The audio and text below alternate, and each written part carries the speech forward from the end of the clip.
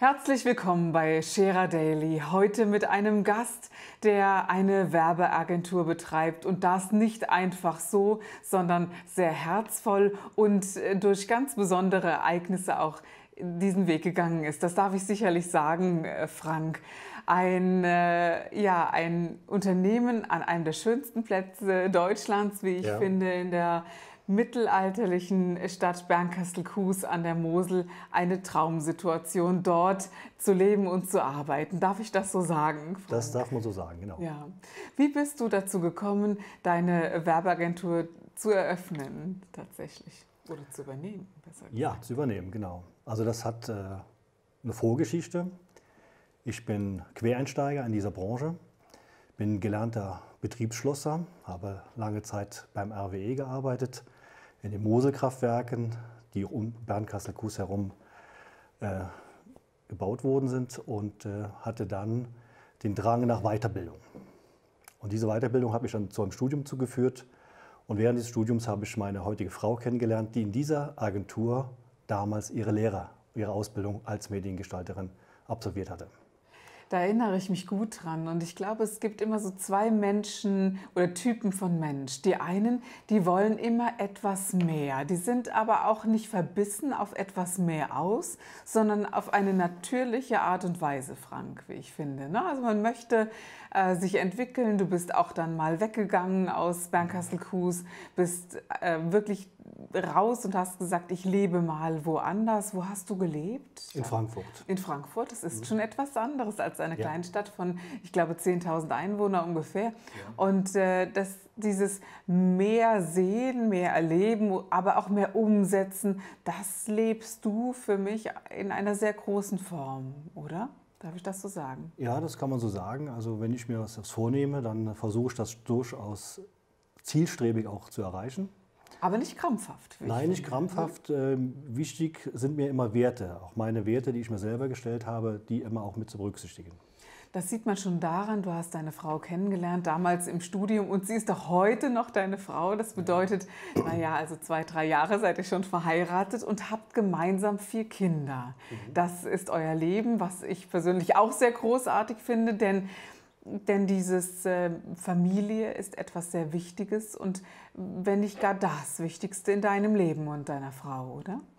Ja, ich habe äh, meine Frau in ihrem zarten Alter von 17 Jahren kennengelernt und wir sind in der Tat noch heute zusammen, seit nunmehr 29 Jahren. Großartig. Mhm. Äh, sind wir also eine Familie und äh, haben sehr früh Kinder bekommen und äh, das hat auch so ein bisschen mein Leben und meine Wertevorstellungen ein bisschen geprägt. Auch ihr habt großartige Kinder. Wie alt sind deine Kinder heute?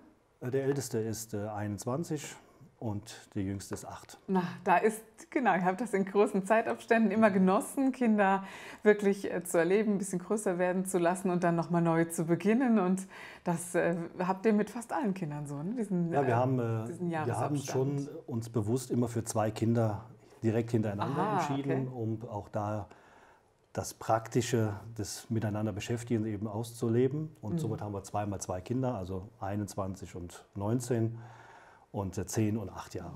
Und du hast dann die Agentur des Vorgängers übernommen. Ich glaube, das war sogar der, der, äh, der Nachbar des Elternhauses. Ist das richtig? Also, dass Correct. du über den Gartenzaun hinweg gesagt hast, kaufe ich, mache ich. Und du hattest vorher ja mit Werbeagentur gar nichts zu tun. Nein, ich hatte ähm, im Rahmen meines Studiums bei einer großen Firma gearbeitet, mhm. durchaus schon im Bereich Marketing und Öffentlichkeitsarbeit. Also die Arbeit war mir nicht ganz fremd.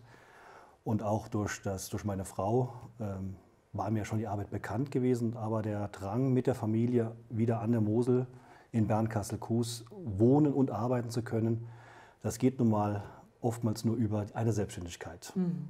Und somit habe ich dann die Agentur 1998 erworben. Ja. ja. man hätte ja auch sagen können, du bist äh, irgendwann mal gelernter Schlossermeister oder was auch immer und, und machst dich damit selbstständig. Wie ist diese Inspiration Werbung? Was hat dir da gefallen, dass du sagst, boah, mein Herz geht wirklich so in die Richtung und ich äh, übernehme das Unternehmen? Ja, Werbung und Kommunikation mhm. hat eben viel damit zu tun, dass man mit, mit Menschen ja zu tun hat. Wir waren damals im Umbruch, da hat das Internet gerade angefangen. Mhm. Kommunikation hat ja, wurde ja ganz neu erfunden, neu auf den Kopf gestellt durch die neuen Medien, die eben einherkamen und das hat mich schon besonders interessiert. Du ziehst auch immer wieder interessante Menschen an. Also es gibt äh, Menschen, die du betreust, die etwas bekannter sind. Du bist auch tätig in der Kommunalpolitik. Da möchten wir jetzt nicht äh, näher drauf eingehen. Aber was ich auch von dir kenne, du bist überall aktiv. Du bist als Vater auch äh, in, in jedem Förderverein der Schule. Du bist im Elternbeirat oder in den äh, oder was auch immer. Du warst überall dabei, mhm. zu sagen, wenn ich schon Kinder habe, bin ich mit dabei. Es hat auch etwas mit Werten aus meiner Sicht zu tun, weil wir dadurch, wenn wir Eltern sind und aktiv an der Schule teilnehmen, einfach an den, an den Kindern dran sind, finde ja. ich, oder?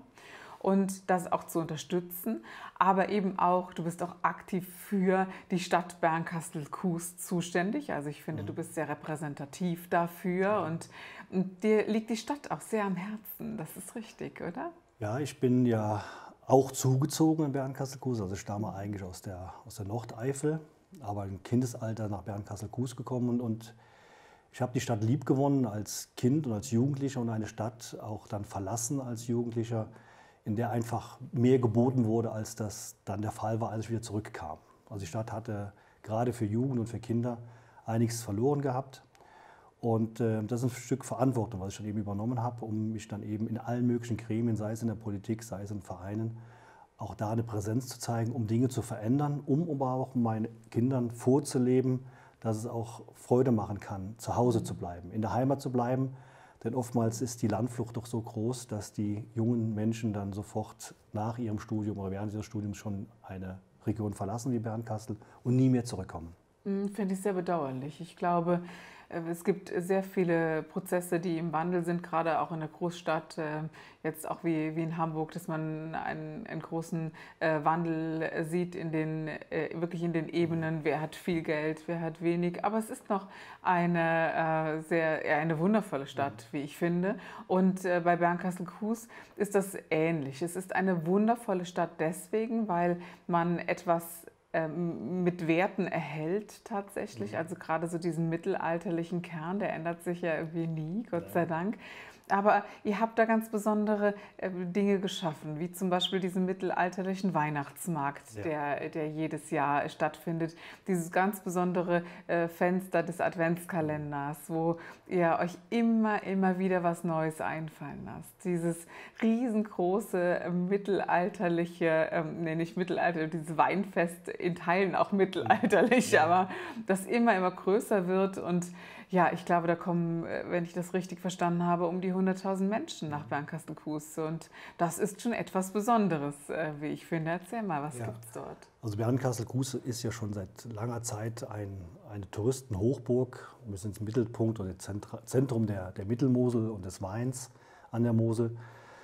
Und äh, da hat man natürlich besondere Herausforderungen, das Niveau auch zu halten. Mhm. Niveau halten bedeutet immer mit Fortentwicklung, mit Weiterentwicklung. Stillstand ist Rückstand. Das gilt auch für Events, das gilt auch für, für den Einzelhandel, das gilt für den Tourismus, für die Hotellerie. Und äh, somit versuchen wir schon sehr stark auch äh, unter Mitwirkung aller Gremien daran festzuhalten. Finde auch das Kulturprogramm ganz besonders. Also ich kenne es jetzt, also natürlich ist es unschlagbar hier, die äh, Elbphilharmonie in Hamburg zu sehen. Das, äh, da können, kann natürlich äh, Bernkastel-Kues nicht ganz äh, mithalten, aber darum geht es auch gar nicht, sondern es geht darum, dass, dass wirklich große Künstler trotzdem in diesen äh, Ort gebracht werden. Äh, die, die, also da gab es ja gerade im letzten Jahr, vielleicht fällt ja jemand ein, äh, der, also Hagen Retha war da, den, den schätze ich zum Beispiel Beispiel sehr. Ne? Und ähm, immer wieder in dieser äh, Kulturebene, da hat sich un unglaublich viel durch Herr Leben getan, wie ich genau. finde. Ja. Wir haben äh, Bernkastel-Kues ist die Geburtsstätte des Mosel Musikfestivals. Genau. Ist das größte Musikfestival hier im Lande Rheinland-Pfalz. Mhm. Für eine Kleinstadt wie Bernkastel schon beachtlich. Und aus Bernkastel-Kues heraus bespielen wir also mittlerweile die gesamte Mosel an ganz besonderen Schauplätzen auch. Da werden also Ruinen, da werden alte Häuser, da werden Open-Air-Konzerte, Innenhöfe, kurfürstliche Palais werden bespielt. Und das eben mit äh, herausragenden Künstlern der klassischen Musik. Auch, auch, im Sommer gibt es doch auf diesem Marktplatz äh, immer ein Konzert. Ist das, äh, ist das richtig? Äh, einmal in der Woche oder so findet ja, das sogar das, statt? Ja, das ist auch so ein bisschen auf, auf äh, meine Initiative genau. entwickelt worden. Wir haben auch hier um einem anderen Publikum und zwar dem Publikum, die schon an der Mosel beheimatet sind, aber auch den Einheimischen äh, ein, ein Forum zu bieten, haben wir an jedem Donnerstag eine Sommerbühne. Hier spielen eine Nachwuchsband und eine etwas bekanntere Band aus ihrem eigenen Repertoire und das zehnmal donnerstags abends auf dem Marktplatz. Also zu jeder Jahreszeit könnte man jedem Hamburger empfehlen oder aus der Umgebung auch mal in, an die Mosel zu reisen und zu sagen, es gibt fantastischen Wein in den unterschiedlichen äh, Geschmacksrichtungen. Es gibt äh, ganz, ein ganz, ganz breit gefächertes Kulturangebot und es wird gefeiert, es wird gelebt. Es gibt eine ruhige Zeit, es ist der November, das darf man sicherlich auch sagen. Wer ganz stille Stille haben möchte, darf dann so äh, kurz äh, vor Dezember nach Bernkastel-Kues reisen. Das stimmt auch, oder? Gut, der, der, nach dem Herbst, der ja klassisch immer die Weinlese stattfindet, geht es dann etwa für drei Wochen im November in der Tage ruhiger zu. Genau. Aber Ende November beginnt ja schon der Weihnachtsmarkt, ja.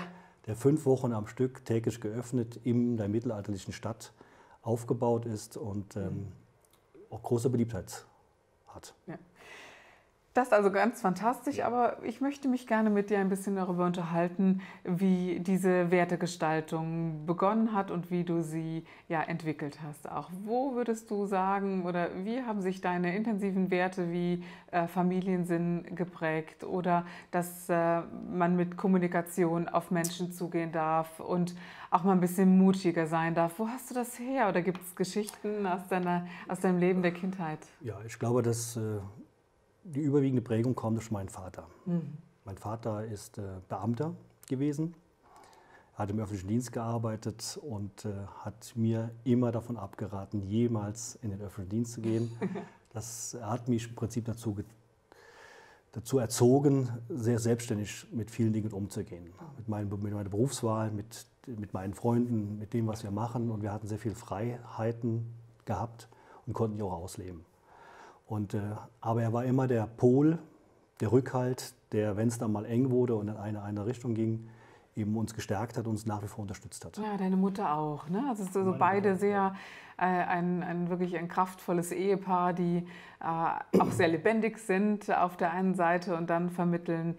Ähm, das war, aber ich glaube, dieses Vermitteln ist das eines Vorleben ist, äh, ist glaube ich, das Wesentlichste von Eltern und das lebst du ja dann praktisch deinen Kindern genau. weiter vor. Ne? Zu sagen, also man muss das schon vorleben. Man kann nicht nur predigen und, äh, und äh, ermahnen, sondern man muss das schon vorleben. Also wenn man Werte vermitteln will, dann muss man sie auch selber einhalten.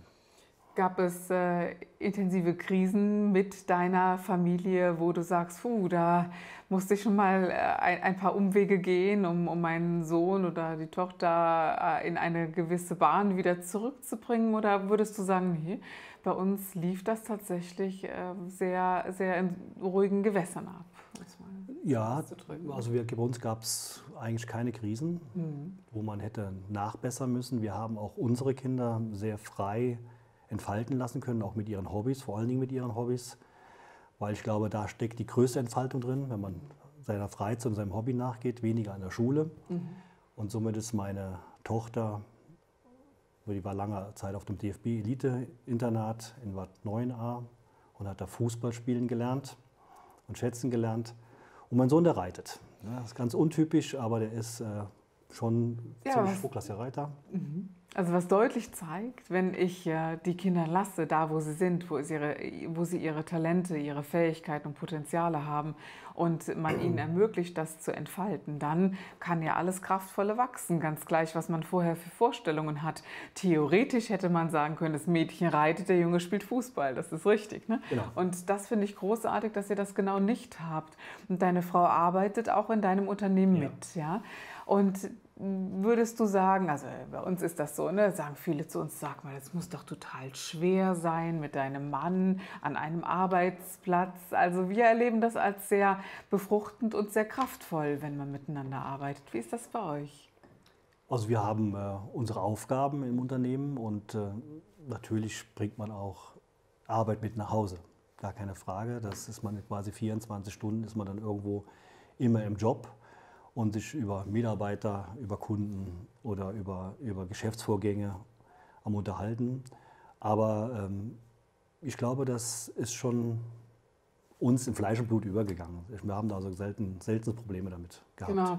Es ist so eine, ich glaube, das ist, ist so eine klassische Unternehmerkultur. Das macht sich schon beim Frühstück. Ne? Ich glaube, dass unsere Kinder mit der Selbstständigkeit groß werden und unser Denken auch so übernehmen. Wir unterhalten uns natürlich, also mein Mann und ich natürlich beim Küchentisch darüber, äh, was wir denken, wie wir handeln und unsere Kinder bekommen das automatisch mit. Und das geht ja bei euch ähnlich. Ich glaube auch, dass es sehr schwer sein wird für unsere Kinder, in ein Angestelltenverhältnis zu gehen. Ich bin mal gespannt, wie das sein wird, aber ich könnte mir vorstellen, dass diese es ist ein anderes Denken. Es ist ein anderes Denken ausgerichtet darauf, dass man Verantwortung hat für all die Mitarbeiter, die man eingestellt hat, mhm. dass man überlegen darf, äh, können wir dieses Geld generieren im Folgejahr und können wir die Gehälter tragen und mhm. lohnt sich das oder oder dass äh, jeder Mitarbeiter so seinen Arbeitsplatz bekommt, der ihm ja ihm wirklich passt im Sinne von Fähigkeiten, Möglichkeiten.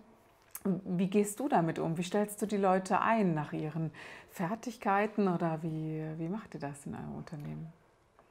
Ja, zunächst einmal äh, überwiegend im Vorstellungsgespräch. Ne? Also Zeugnisse haben bei mir weniger Bedeutung. Mhm. Ich versuche da schon sehr stark auf die Persönlichkeit einzugehen und äh, das herauszukitzeln, was da wirklich in den Menschen drin steckt. Ne? Mhm. Und dann gelingt es einem mal, aus einem was zu machen und manchmal gelingt es dann eben auch nicht. Ne? Dann muss man sich aber auch dann frühzeitig wiederum trennen. Ist, glaube ich, für, für alle Beteiligten dann das Sinnvollste. Ich habe so die Erfahrung gemacht, äh, wenn ich das so sagen darf, dass bei der ersten ähm, intensiven Geschichte, die man miteinander hat, sich herausstellt, ist, das, ist ein gemeinsamer Arbeitsweg möglich und sinnvoll ja. oder nicht? Oft geht man hin und sagt, naja, dann probieren wir es nochmal, man lässt nochmal eine Chance.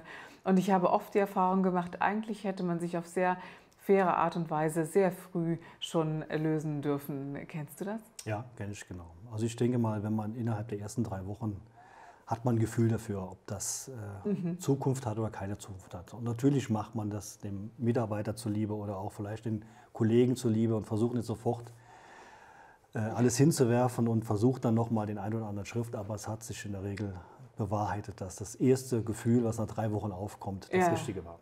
Ich hatte auch nach längerer Zeit, ich hatte einmal ich bestimmt zwei, zwei Wochen nachts nicht geschlafen und mhm. habe mir Gedanken gemacht über eine Person, die bei uns gearbeitet hat. Und es, es hat mich sehr aufgeregt. Also auf Deutsch, ich habe mich richtig geärgert, immer und immer wieder. Und, und dachte dann, hm, ja, versucht äh, kommunikativ damit umzugehen. Man redet drüber, man sagt, ich wünsche mir das ja. und das und das. Aber ich hatte einen unglaublichen Kampf von dem Zeitpunkt, dass ich die Kündigung im Herzen getragen habe für denjenigen, bis ich sie ausgesprochen habe.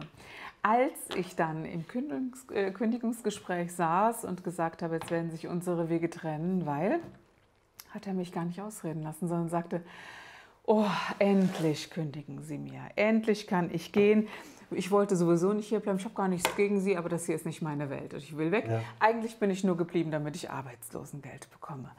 Wow, da kam so ein zweiter Punkt, wo ich dachte, ähm, das war nicht meine Intention, dass ja. ich jemanden entlasse, dass er dann äh, Arbeitslosengeld bezieht und dem Gemeinwohl ähm, obliegt. Ja. Aber ich habe für unser Unternehmen keine Chance gesehen, äh, mhm. äh, mit, beieinander zu bleiben.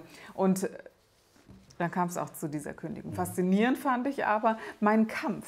Verstehst du? Dieses ja. lange Hadern und dieses hm, wenn dann, obgleich einfach ein Mensch schon lange mit einem äh, ja, Geschäft abgeschlossen hat. Und das merkt man irgendwann, habe ich so den Eindruck. also wenn die, die Kündigung innerlich ausgesprochen ist, dann gibt es kaum mehr einen Weg zurück. Ja, genau. Also da, da mhm. muss schon viel passieren, dass der Mitarbeiter sich massiv verändert oder irgendwie in die Pötte kommt. Ja, Aber wenn, wenn, die innerlich ausgesprochen ist, das habe ich schon erfahren, dann sollte man auch relativ schnell äh, reinen Tisch machen, weil das ist für alle Beteiligten nur eine Qual. Ja, ich gehe inzwischen sogar so weit und sind mein Mann und ich uns sehr einig, dass wir ab dem Aussprechen der Kündigung auch äh, direkt das Arbeitsverhältnis äh, ja, mhm. beenden. Also wir sehen uns dann nicht mehr vor Ort. Natürlich werden die Vertragsbedingungen ein, eingehalten, äh, das ist ja ganz klar. Aber es ist auch ab dieser Aussprache einfach vorbei. Und ich mhm. glaube, so ist es umgekehrt, wenn jemand eingestellt wird, so ist es einfach auch eine Ansage, eine Fürsprache für jemanden. Und ich persönlich liebe im Unternehmen Menschen, die, die offen sind. Ähm, mein Mann und ich sind, äh, sind sehr äh, wildgeistige Menschen, ja. die immer wieder neue Ideen haben und meinen, jetzt müssen wir das und das und das umsetzen. Und äh, diese Ideen, die kommen wirklich über Nacht. Dann kommt man morgens ins Unternehmen und sagt, vergesst alles, was wir vorgestern entschieden haben, wir machen es heute neu. Ja? Und ein bisschen habe ich das bei euch äh, miterlebt. Also wir durften euch kennenlernen im Sinne der Werbeagentur. Ihr macht sehr eine sehr, sehr schöne kreative Arbeit, wie ich finde, die jetzt mit dem Kommunalen an sich äh, gar nichts zu tun haben. Es gibt die Betreuung der Internetpräsenz ja. und äh, all diese, diese ganze äh, Welt, die obliegt euch auch. Ähm, da habt ihr gute Leute, ne?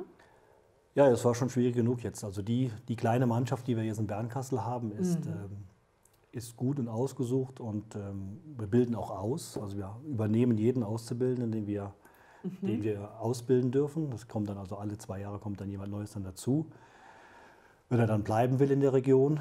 Aber ich habe ähm, vor drei Jahren mich auch in der nächsten, nächsten größeren Oberzentrum, also in Koblenz, mit einer Erweiterung Agenturstandort breit gemacht, um da eben aus dem größeren Mitarbeiterportfolio auch mhm. schöpfen zu können. Ne? Also die ländliche Region hat schon das Nachsehen um die Fachkräftemangel. Schade eigentlich. Schade, ne? ja. Es ist äh, deswegen schade, weil wir eben auch erleben, dass es eine andere Qualität hat, dass jeder jeden kennt und das, das ist ja nun mal so. Ne? Also in so einer Region oder in so kleinen äh, Räumen äh, in Anführungszeichen kennt jeder jeden und das bildet aber auch ein gewisses Kraftpotenzial, wie ich finde. Also dass du sehr zusammenrücken kannst und kannst aus dem äh, wenigen auch viel machen. Mhm. Ja, das muss ja gar nicht, es muss ja gar nicht so sein, dass man immer auf, äh, auf große und große Menschenmassen und Ähnliches angewiesen Nein, das, äh, die, der ländliche Raum hat durchaus seine Reize. Man muss sich nur dafür entsch entscheiden. Ja. Man muss sich einmal dafür entscheiden. Und die sich entschieden haben, die gehen auch selten wieder zurück, weil es einfach angenehmer ist mit weniger Stau, mit weniger Ärger, mit weniger Stress, mit genügend Kindergartenplätzen, mit äh, Schulen, die noch, äh, ich sage mal, äh, sich auf Wissensvermittlung konzentrieren können. Mhm. Also all diese Vorteile, die der ländliche Raum bietet, äh, die sind vorhanden, nur wir tragen es nicht nach außen. Ja, genau. Die mhm. jungen Menschen glauben immer noch, ihr Heil und in der Großstadt zu sehen, mhm.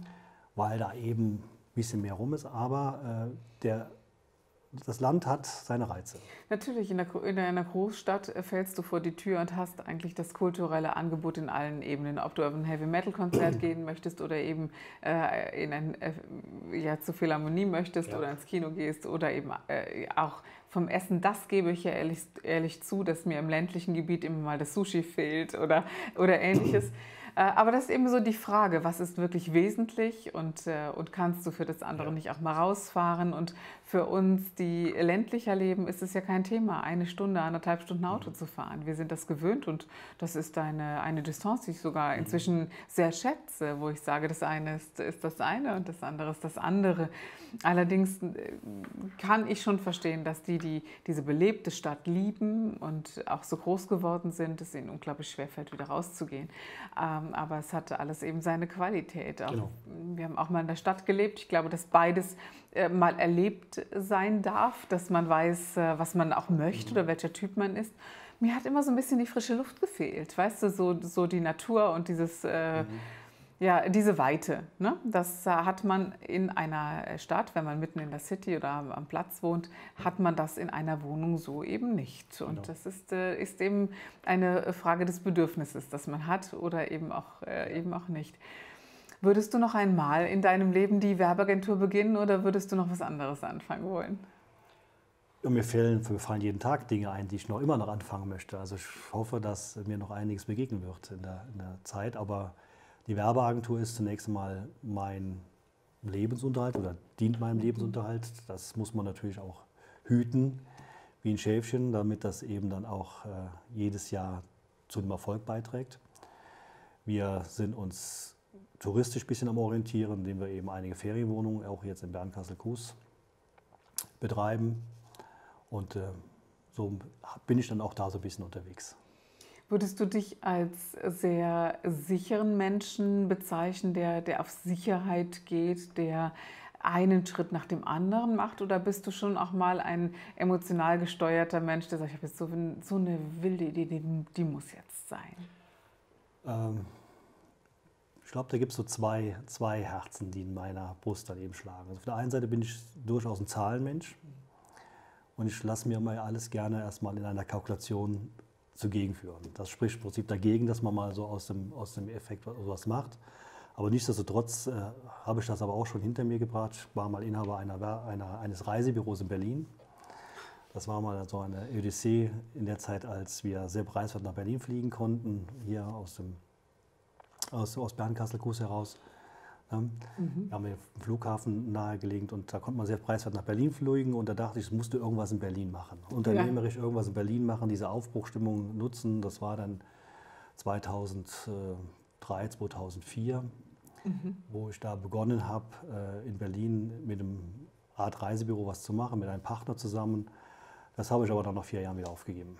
Okay. Das war aber dann doch zu weit. Ja, was hat dir gefallen in Berlin, als du das gemacht hast? Also Berlin ist eine Stadt, äh, ich bin äh, jede Woche einmal nach Berlin geflogen und die Stadt ist innerhalb von einer Woche hat die sich äh, rasend schnell verändert. Mhm. Enorm verändert. Vor allen Dingen, wir waren sehr stark im Osten, also in Friedrichshain waren mhm. wir da mit dem Büro ansässig und da ist immer was passiert und das hat mich fasziniert. Mhm. Diese Stadt hat mich einfach fasziniert. Mhm. Ne, was da in Berlin so an, an nur an Kultur, aber auf der Straße, in der Szenerie, in, in, in, in, die Renovierungen, die Häuser, die sich verändert haben, die Straßenzüge, die sich verändert haben. Ja, was da alles Wahnsinn. so möglich Toll. ist. Und die, äh, ich finde, so jede deutsche Stadt hat so seinen eigenen Spirit. Ne? Man ja. kann das gar nicht so beschreiben. Also wenn man in Hamburg ist, also so hier zu sein, ist für mich immer wieder wundervoll, äh, weil es einfach eine sehr ich sag's mal so, äh, jetzt auto ich mich wirklich, ja, eine sehr feine Stadt ist. Also sie, sie äh, ist ähm, mit Stil,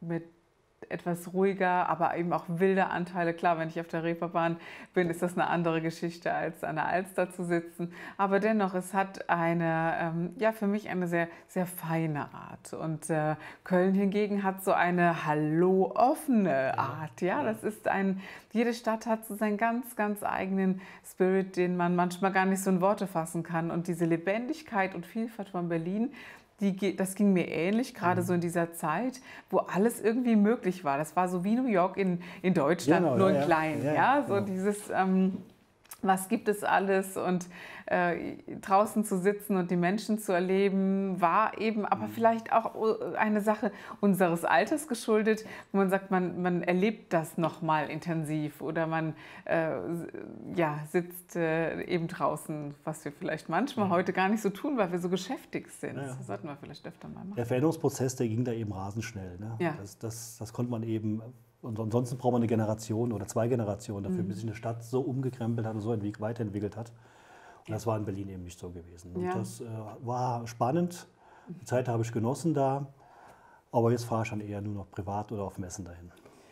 Ich finde ja, wenn man sich so unterhält, das hört sich ja so alles sehr ruhig an, Frank. Ne? Ja. Aber wenn ich äh, zurückdenke an so den jungen Mann, der Arsch mal Vater war, äh, also natürlich heute noch ist, aber eben damals Vater war und wirklich über den Zaun entscheidet, ja, ich äh, kaufe jetzt die Werbeagentur. Also das ist ja doch ein sehr mutiger Schritt und erstmal weit gefehlter Sicherheit. Das darf ich sicherlich sagen. Also es ist, äh, war es deiner Jugendhaftigkeit geschuldet, dass du den Mut aufgebracht hast? Oder würdest du sagen, nein, das habe ich mir schon gut äh, ausgerechnet?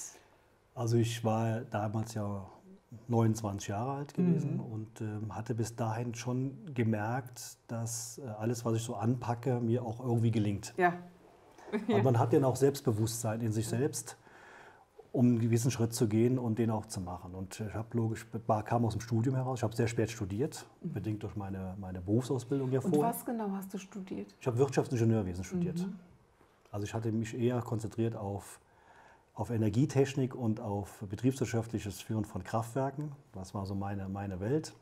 Komme ja aus, der Kraftwerks, aus dem Kraftwerksbereich. Also die könnten dich heute schon gut gebrauchen, das ist schon klar. Äh, ne? ja. Also RWE hat ja so einen Stand, der, wenn ich das so von außen so mitbekomme, äh, eben auch seine, seine Schwierigkeiten hat. Und ich glaube, dass äh, die dich da tatsächlich heute sehr gut gebrauchen könnten. Ja, vor allen Dingen, weil damals ähm, war ja das, das Thema erneuerbare Energien, mhm. war ja noch, das Wort gab es noch gar nicht so ja. richtig dafür. Ja. Obwohl wir mit den Wasserkraftwerken ja schon immer erneuerbare Energien produziert hatten. Die ersten Windkraftwerke kamen auf, diese ersten äh, Blockheizkraftwerke wurden gebaut. Und in dieser, in dieser Zeit, dieser Phase, in diesem Umbruch des, des Energiewandels äh, bin ich quasi mit reingewachsen. Und da hat natürlich vieles auch mit Wirtschaftlichkeit zu tun. Mhm.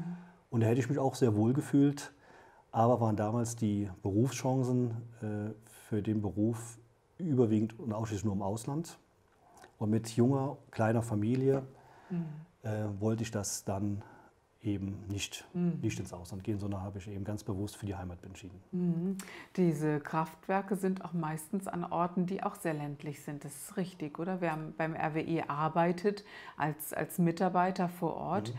die, äh, die Wasserkraftwerke, ja klar, ja. dass die nicht mitten in der Stadt ja. sind, liegt auf der Hand. Ähm, und, aber das ist ebenfalls so, dass du da ja schon eher ländlich orientiert warst, ohne es, glaube ich, bemerkt zu haben, oder? Kann genau. ich das so sagen? Ja, ja kann man so mhm. sagen. Außer jetzt Koblenz ist sicherlich oder so, so mhm. größere Standorte. Aber ähm, RWE, wenn auch das, äh, korrigiere mich, wenn ich da was Falsches sage, aber auch so Atomkraftwerke wie Mülheim-Kierlich gehörten auch dazu. Genau. Hatte mit erneuerbarer äh, Energie wahrlich nichts zu tun. Nein, das war in den, äh, das war ja äh, Mitte, Ende der 80er Jahre. Mhm. In der Zeit, als ich meine Ausbildung ja begonnen habe, ist Mülheim-Kellich mal für kurze Zeit ans Netz gegangen. Ja. Und auch wieder, sofort wieder abgeschaltet worden. Also wir haben das live erlebt. Die Höhen und Tiefen im Prinzip des, des Atomausstiegs, den wir ja hier in der, bei uns aus, der, aus der Sicht der Region ja, erlebt haben. Mhm. Und äh, ja, das Kraftwerk wird im Moment äh, abgerissen. Unglaublich, ja. ja. Über Jahre für Millionen und Abermillionen wieder abgebaut, wenn ich das richtig verstanden habe. Ne? Ja, genau. Da läuft jetzt ein, ein Roboter über den, über den Kulturm und gräbt das langsam ab. Mhm, unglaublich. Also unglaublich, was, äh, ja, was da äh, passiert ist in der, in der Bewegung tatsächlich. Ja, jo, das hat, alles hat immer seine Zeit, sage ich immer. Mhm. Ne? Das ist, äh, der Atomstrom hatte seine Zeit, mhm. der Diesel hatte seine Zeit. Und somit äh, bewegen wir uns jetzt auf eine neue Zeit hin. Und das sollten wir dankend annehmen und, und uns da auch immer wieder weiterentwickeln. In der Werbeagentur bewegt man sich da auch auf neue Zeiten hin? Also passiert da auch viel im Sinne dessen, dass die, die äh, Kommunikation nach draußen, die Präsenz nach draußen sich auch in der Gestaltung verändert? Und im Design? Ja, die, die Gestalt, also Design, gutes Design, äh, glaube ich, kann man sowohl früher als auch heute gleich, gleich bewerten. Ne? Also die Grundzüge von gutem Design stellt jeder fest. Man, es gefällt oder es gefällt nicht. Manchmal weiß man gar nicht, warum es so gut gefällt, mhm. aber es liegt dann oftmals am Design, dass es einem ja. gut gefällt. Ja, ähm, womit wir heute mehr zu kämpfen haben, sind die viele Ausprägungen der verschiedensten Medien. Ne? Ja, also die Kunden, die sind ja hin und her gerissen. Steuere ich noch im Print, in Media, in Social Media, mhm. ins Internet. Also über es gibt so viele Medien, wo man eben ausstreuen kann und da muss man natürlich sehr stark äh, schauen, wo tummeln sich denn meine Kunden. Mhm. Das heißt, es ist viel mehr wichtiger zu wissen, wer sind überhaupt meine Kunden, mhm. als äh, letztendlich das Medium, also jetzt äh, auf alle Medien zu setzen. Mhm. Also wenn ich das richtig verstehe, so für uns sind die Multimedia-Ebenen ähm, sehr wesentlich, also für, für Hermann und Kerstin mhm. Scherer das ist so unsere Plattform. Wer, wer, sieht uns, wer möchte uns sehen. Aber natürlich für ein Elektrogeschäft äh, vor Ort macht ja. es weniger Sinn tatsächlich, ähm, weil eine gewisse Altersklasse auch noch gar nicht den Internetzugang in dem Sinne hat, dass sie alles googeln wie wir. Also für uns ist das eine Selbstverständlichkeit, mhm. ins Netz zu gehen und Facebook, Instagram und und und ist alles äh, ein, ein gängiges Medium. Ja. Aber natürlich darf man da unterscheiden, wer ist wer und wofür ist etwas, für, äh, wofür ist etwas wichtig. Ja. Aber glaubst du, dass es eine Welt ohne Internet überhaupt noch gibt oder geben kann? Nein. Nein, unmöglich. Ne? Das mhm. Internet wird uns ähm, zunehmend noch, noch ein, einnehmen, mhm. im täglichen Leben einnehmen, in der Werbung einnehmen. Aber auch die klassischen Formate, die werden äh, nicht aussterben. Da bin ich fest von überzeugt. Und haben auch nichts unbedingt, nicht unbedingt was mit, mit, mit dem Alter zu tun, sondern auch was mhm. mit, mit Werten zu tun, mhm. mit Haptik zu tun, mit Gefühl zu tun. Ja, ich wehre also, mich ja mit Händen und Füßen gegen die Tatsache, dass das Buch übers Kindle abgeschafft wird, oder?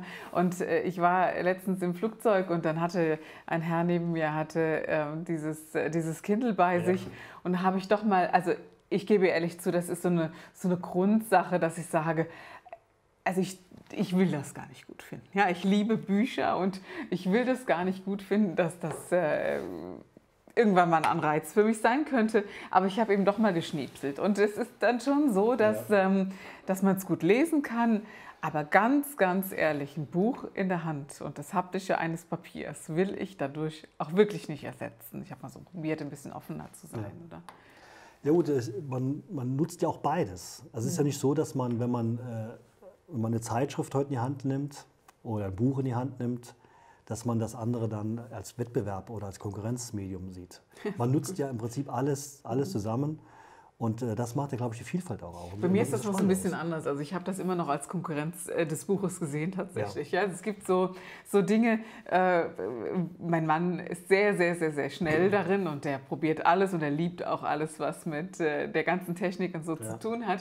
Und in mir wehrt sich das immer noch so. Ja, also ich habe, glaube ich, relativ lange gebraucht, um äh, endlich bei Facebook zu sein. Da war doch früher, wer kennt wen, kennst du auch ja, noch. Ne? Das war noch so meine Plattform. Da brauchte ich doch kein Facebook und ähm, und jetzt äh, lerne ich Instagram auf eine ganz äh, neue Weise kennen, weil unser Team sehr jung ist und die sagen, wow, wie alt muss man sein, dass man immer noch bei Facebook ist. Ja? Und das, äh, das ist so faszinierend auch, wie, wie die Generationen trotzdem, also ich glaube schon, dass es eine, eine Altersthematik ist, denn äh, also mir fällt es bei Facebook doch leichter, weißt du. Also da wird etwas gepostet, es ist fix in der Timeline und, äh, und bei Instagram gibt es die Story und dann gibt es dann auch nächstes Mal und dann, äh, das funktioniert eben anders. Also verstehst du die Systeme immer recht schnell? Ja.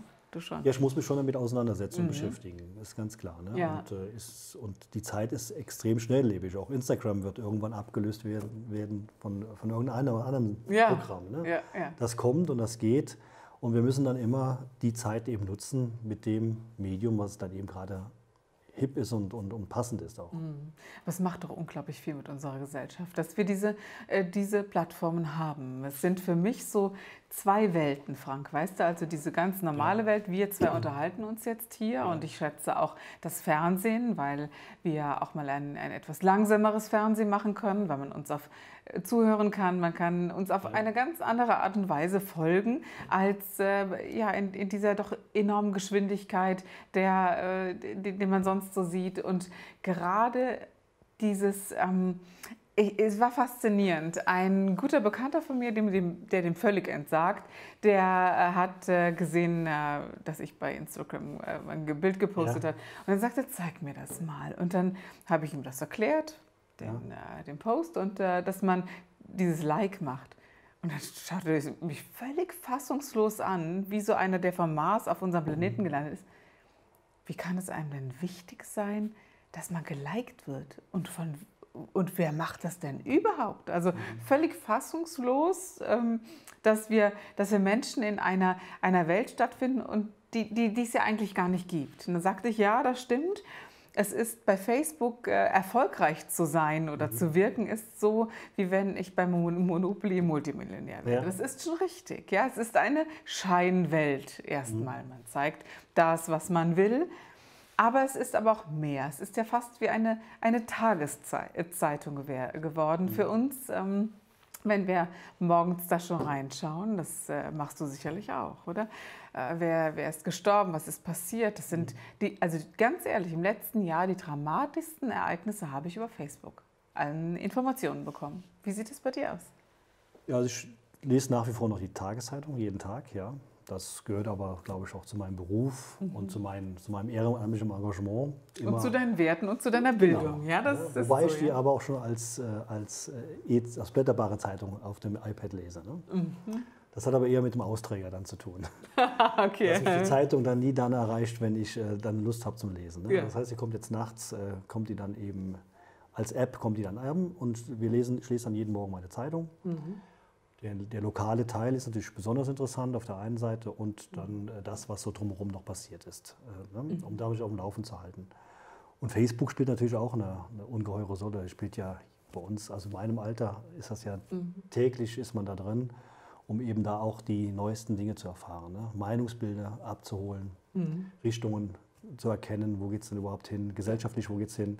Und da ist das Facebook, das Facebook oder die sozialen Medien ist schon ein Abbild der Gesellschaft und kann man viel ablesen. Das finde ich auch und ich finde es auch teilweise sehr erschreckend. Also gerade was, äh, darf man sicherlich sagen, was Rechtsradikalismus betrifft und wie, wie, wie laut das geworden ist. Und über diese Medien finde ich es noch mal extremer, als, äh, als diese Medien eben nicht zu verfolgen. Ich bekäme das sonst so extrem nicht mit, Frank. Ja, Facebook ist ja ungefiltert. Da sitzt ja keiner in der Redaktion, im Regiepult wie im Fernsehen ja, ja. oder in den Nachrichten, die im Prinzip beeinflussend Medien ausstrahlen. Facebook kommt ungefiltert an. Ja.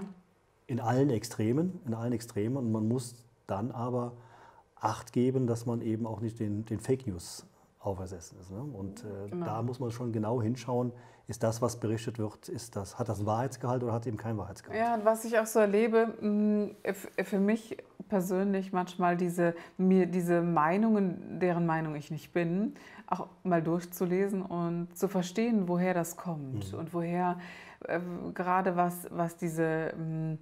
Ja, die, äh, wir dürfen ja nicht politisch werden, ne? aber es gibt ja doch die eine oder andere Partei, die der, dafür steht, mhm. eher mal in die eine oder andere Richtung lauter zu sein, sehr plakativ zu sein oder auch Parolen rauszuhauen, die sehr, sehr klar und sehr mhm. intensiv sind.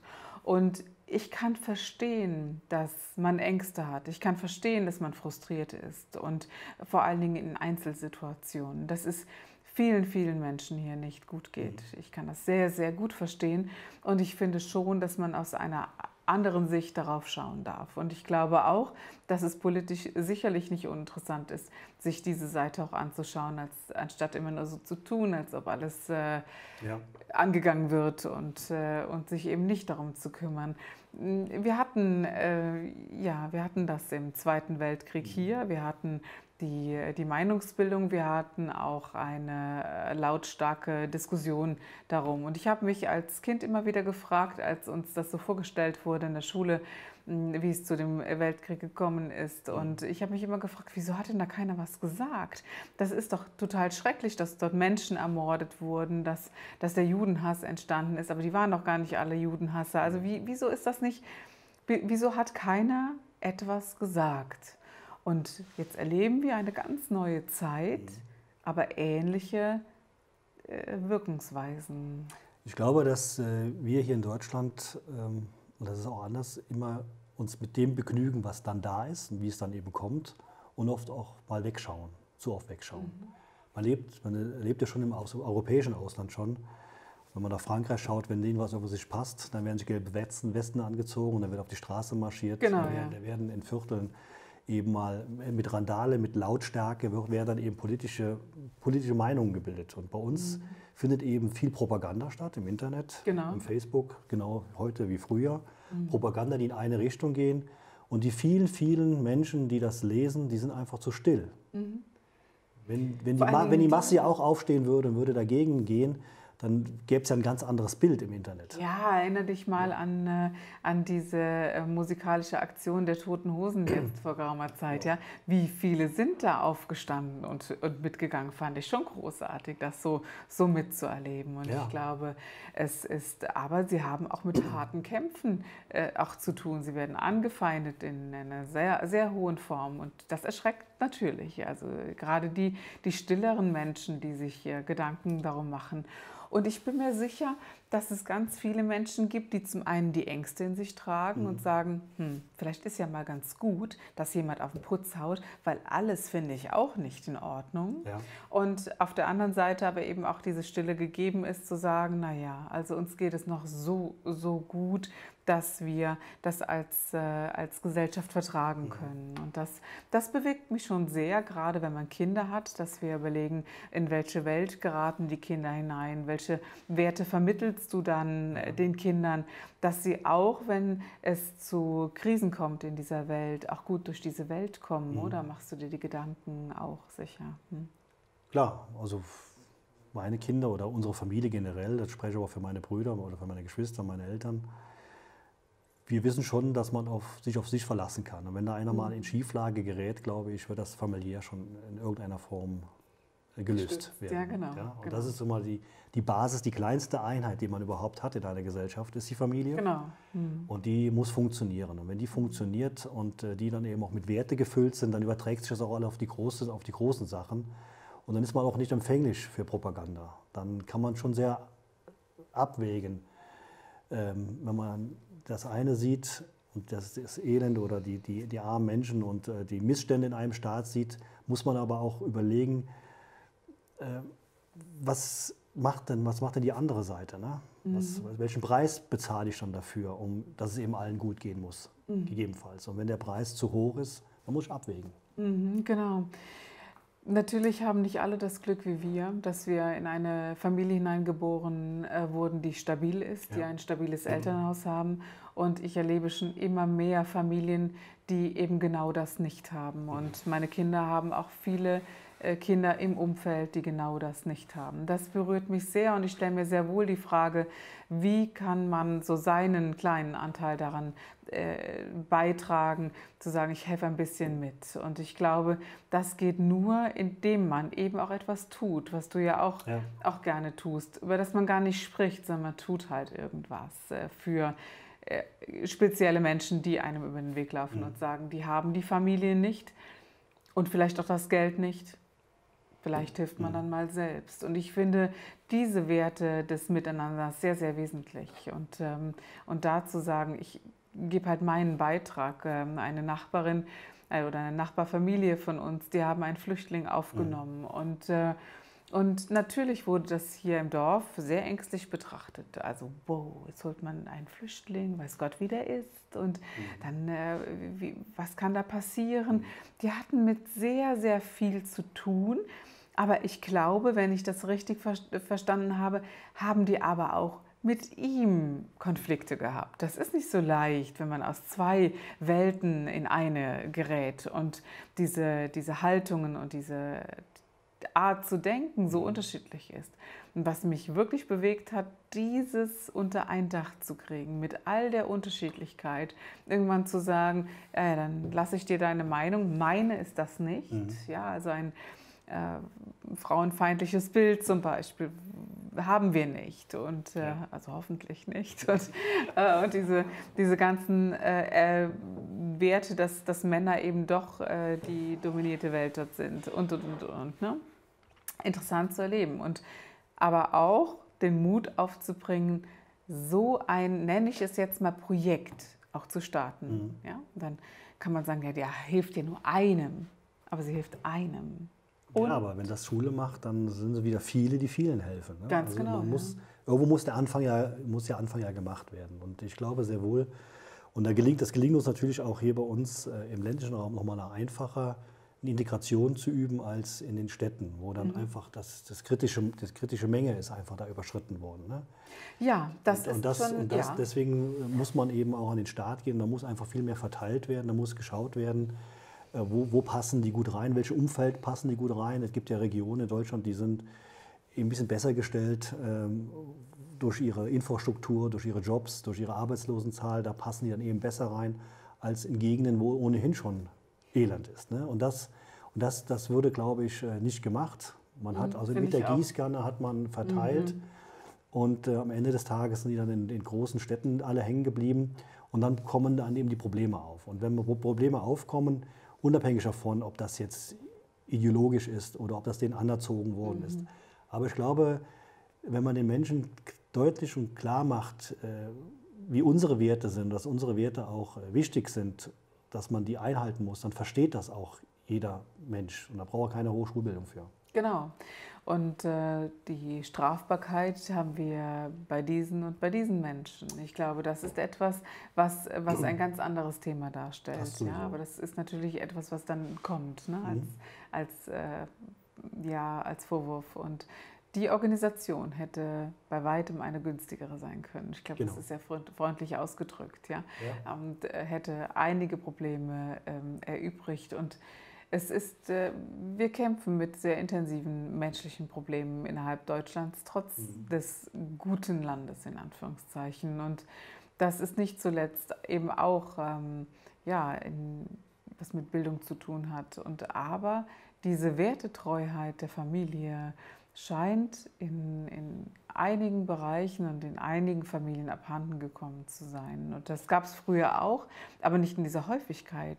Sehe ich das äh, alleine so oder würdest du das ich, auch so unterstreichen? Weil kann ich das jetzt so bestätigen. Also okay. ich glaube, dass wir mehr verloren haben, uns um, um die anderen Sachen zu kümmern. Also wenn früher in den Familien ähm, Missstände gab, ja. dann wurden die Kinder auf der Straße erzogen. Dann hat sich im Prinzip eine Kommune, ein Straßenzug ja. darum gekümmert. Es gibt so ein afrikanisches Sprichwort, du brauchst ein ganzes Dorf, um ein Kind zu erziehen. Das Gut. ist wohl wahr, ja, genau. So. Stimmt. Und, Und, unser soziales Netzwerk hieß draußen. Ja, hieß draußen, genau. genau. Und da hat das dann irgendwie immer funktioniert. Aber auch diese Dinge funktionieren eben heute nicht mehr. Das heißt, wenn, wenn Missstände mhm. im, im familiären Umfeld da sind, ist der junge Mensch oder das Kind ja auch auf der Straße allein gelassen. Man schaut ja eher weg als hin.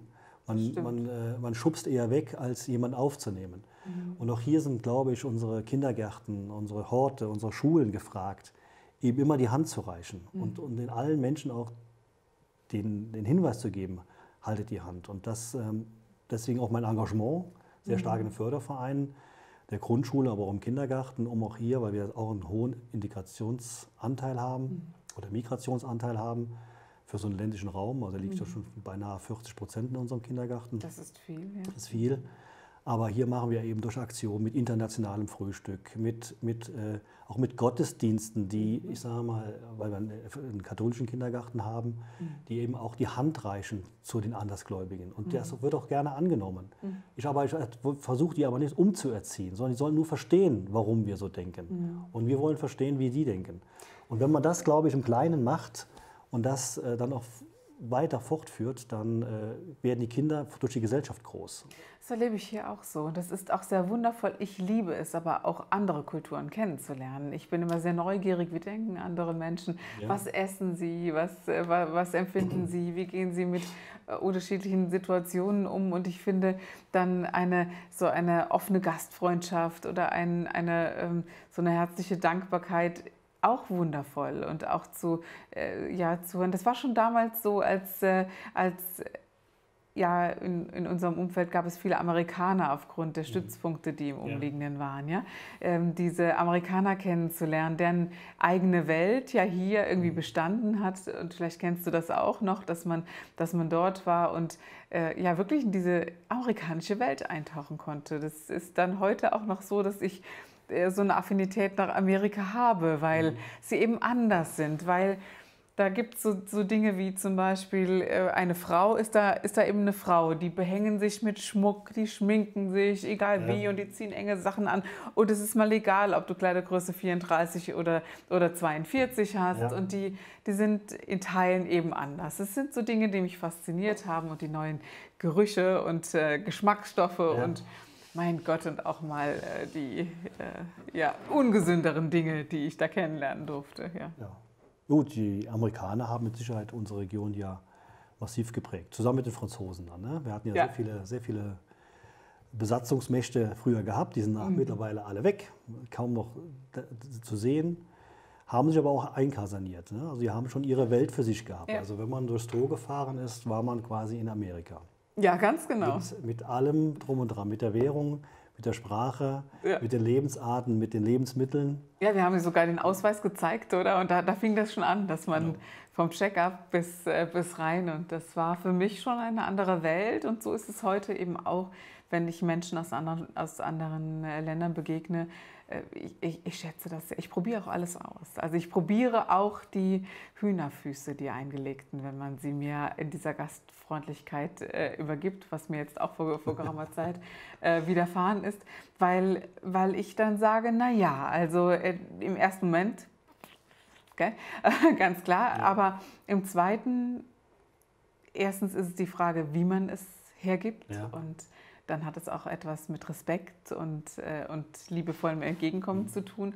Und dann lerne ich eine Welt kennen, wo ich dachte, hm, hätte ich jetzt nie gegessen, interessant. Und äh, ja, da fällt es mir, ich bin eigentlich eine, die, die sich äh, sehr gerne äh, vegetarisch oder vegan mhm. Äh, in Teilen sogar ernährt und äh, die aber auch so darüber hinweggeht und sagt, ja, es ist mir wichtig, wie wir im, im Umgang miteinander sind. Aber mhm. das ist eine ganz subjektive Entscheidung, die man ja, das, trifft. Also die Chance ist schon, dass wir internationaler werden, kulturell vielseitiger werden. Und diese Chance, die sollte man einfach sehen. Durch das die vielen Menschen, die hier nach Deutschland kommen oder nach Europa kommen. Man muss das ja alles mal ein bisschen europäisch sehen. Mhm. Und wenn wir es schaffen, diese Kultur und diese vielen, vielen Menschen und äh, Lebensarten in, in, in, in einem zusammenzubringen, das kann nur für alle gut sein. Und das ist jetzt, wenn ich das einfach mal so übertragen darf, auf dein Unternehmen genau das, was da auch gelebt wird, wenn dass, dass diese unterschiedlichen Mitarbeiter, du hast sehr unterschiedliche Mitarbeiter, ja. wenn ich das äh, auch so, so sagen darf, ne, so von außen betrachtet, dass, äh, dass jeder eine, eine sehr starke, aber sehr eigene Persönlichkeit ist mhm. und die zum Ausdruck bringt. Und du bist da sehr verbindend oder ihr seid da sehr verbindend und, und habt da eine ganz eigene Welt geschaffen mit einer ganz speziellen Kraft. Und das würdest du doch, glaube ich, jedem empfehlen, zu sagen, na pack mal was zusammen und verbinde mal. Oder sage ich das falsch? Frank? Nein, also man muss in allem immer die, die Chancen sehen und die Risiken erkennen. Ja? Aber die Chancen zu sehen, ist zumindest mal eine Tugend, eine Gabe, die man mal annehmen muss. Mhm. Die sollte jeder Mensch sehen. Ja, und schauen wir, vielleicht, wenn ich ganz kurz unterbrechen darf, schauen wir mal rein in dein Unternehmen und wie es sich so darstellt und aussieht.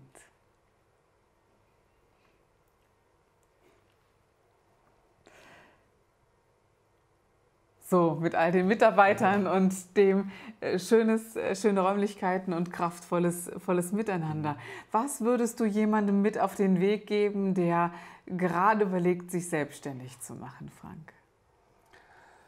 Äh, also als allererstes würde ich ihm auf den, mit auf den Weg geben, nicht zu resignieren vor all den äh, vielen Behördengängen, die, die ja jetzt anstehen. Ne? Mhm. Bis man dann mal sein seine Lizenz hat zum Geldverdienen in Deutschland, das ist schon ein, ist schon ein harter Weg. Und auch an der Front kämpfen wir ja gegen Entbürokratisierung. Die Start-up müssen ein, das muss einfacher gehen, das muss unkomplizierter gehen. Äh, wir brauchen eine, eine, eine, andere Steuerpolitik, gerade im Umgang mit Start-ups. Ne? Man wird ja da schon in den Bewertungsmodi mhm. reinkommen. Fördergelder, Fördergelder Förder müssten klarer kommuniziert Fördergelder werden. Fördergelder ohnehin ist sowieso eine Problematik. Ja. Wir haben jede Menge Fördergelder, keiner weiß, wo sie Ganz sind. Genau. Ja. Die Antragsverfahren sind viel zu kompliziert, viel, mhm. zu, viel zu träge in der Umsetzung und ähm, aber auch und noch Risikokapital fehlt. Genau, aber auch zu wissen, dass es das gibt. Also, dass man sagen kann, ja, wenn du ein, ein Startup-Unternehmen gründest oder aber ein Unternehmen übernimmst, du mhm. bekommst mhm. immer Fördergelder. Also sowohl bei dem einen als auch bei dem anderen. Ne? Das äh, habe ich richtig verstanden. Ja, klar. Mhm. Momentan äh, sind immer so auch, auch Förderpolitik ist ja, ja. Mode, äh, Modepolitik, also Mode, Modeerscheinungen, die dann, die dann ergriffen werden. Und momentan ist eben alles, was so im Bereich App, Internet, alles, was so neu ist, das, ja. da, da, stürzen sich alle drauf. Alle, in alle Startups wird viel, viel Geld auch verausgabt. Ähm, und diese klassischen, die klassischen Unternehmensgründungen, die eben im Handwerk stattfinden, im Einzelhandel stattfinden oder in der Gastronomie stattfinden, die haben in der Förderpolitik ja mhm. kaum mehr eine Bedeutung, werden gar nicht mehr wahrgenommen, weil es eben nicht sexy ist, sondern nicht hip ist. Aber mhm. trotzdem wichtig sind. Ja, ganz genau. Wie weit äh, sehe ich dich kommen, Frank? Möchtest du Bürgermeister oder könnte ich, könnte ich mir vorstellen, dass du mal Bürgermeister von Bernkastel-Kues werden könntest? Ich könnte, äh, ich könnte mir es gut vorstellen, sage ich es mal so. Ja? Das könnten sich, glaube ich, viele andere auch sehr gut vorstellen. Das muss man aber wissen. Wir haben jetzt äh, in diesem Jahr Kommunalwahlen in Rheinland-Pfalz. Mhm. Also im Mai werden die Bürger wieder zur Urne schreiten dürfen und äh, Bürgermeister und Kommunalparlamente wählen. Ich werde auch zur Verfügung stehen im Parlament, aber nicht als Bürgermeister. Nicht als Bürgermeister. Schade drum. Ich könnte mir das mehr als gut vorstellen. Als junger, dynamischer, kraftvoller Mensch, der dort vorausgeht. Vielleicht überlegst du dir das ja nochmal. Aber ich danke dir auf jeden Fall sehr für die doch wundervolle Sendung, die ich mit dir hatte heute und die ja doch sehr anders gearteten Gesprächsthemen, ja. die wir erstmal so nicht vermutet haben. Vielen Dank für heute. Dankeschön.